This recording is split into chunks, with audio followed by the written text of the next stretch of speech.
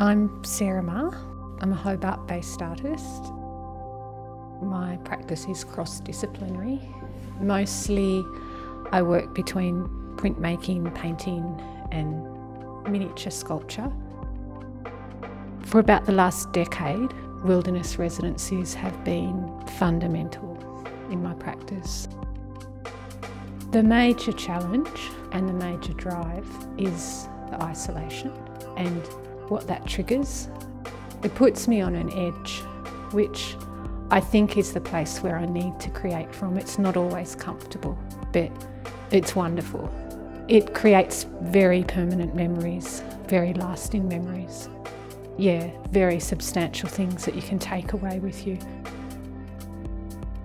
I go out walking, exploring and observing the geology of the place and weaving some sense of abstract kind of narrative into that.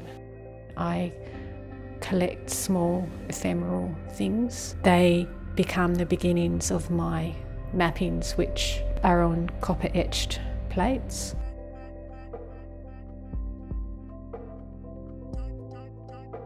My work has become miniature to the point where I'm using a magnifying glass to create. So I'm really loving that experience of being out in the wide open space and then coming to the very insular log cabin and creating these small worlds which really push you to that periphery of your senses. Two years ago I went to Matsuyker Island, which is an isolated island off the bottom of Tasmania.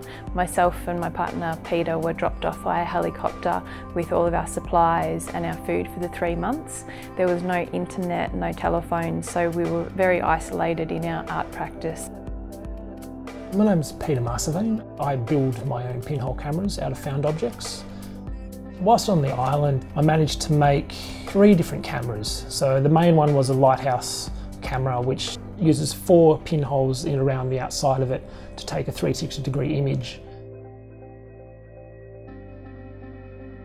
I think the difference between the way Pete and I addressed the island was Pete was looking more out into the landscape, whereas when I was going on walks, I'd be examining all the small details of the island. So looking at the lichens and finding little bird skulls and finding leaves and all these patterns that interest me aesthetically, but also conceptually in terms of the life, death and the decay and growth patterns that were happening on the island. Day-to-day -day life was pretty simple, building the cameras each day and then when they were built I would sort of go out, wander the island, try and find little hidden parts of the island. Some days we couldn't leave the house because there'd be gale force winds.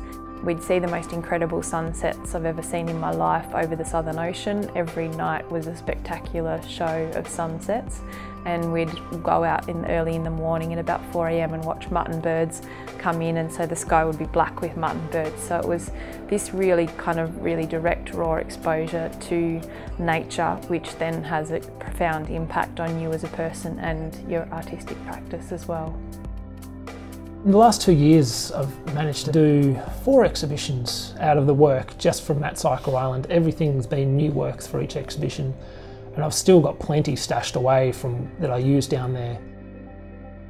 Residencies give you that opportunity to completely focus on your practice and have that dedicated time, which is invaluable. And I always find afterwards that I'm pushed as an artist and kind of take that next step up in my practice. And I think it's a really unique experience.